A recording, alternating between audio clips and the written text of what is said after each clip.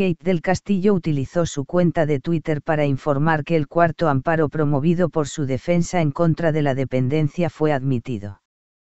Sin embargo, sus abogados le pidieron no dar entrevistas. La actriz solicitó a un juez federal obligar a la Procuraduría General de la República a garantizar su derecho de defensa y terminar la investigación en su contra por sus presuntos vínculos con Joaquín El Chapo Guzmán Loera. No te olvides darle me gusta, comenta, comparte, suscríbete para participar del sorteo y ganar premios, sígueme en mis redes sociales si deseas que te mandemos un saludo en las siguientes noticias comparte los vídeos y los cinco primeros saldrán en el próximo vídeo.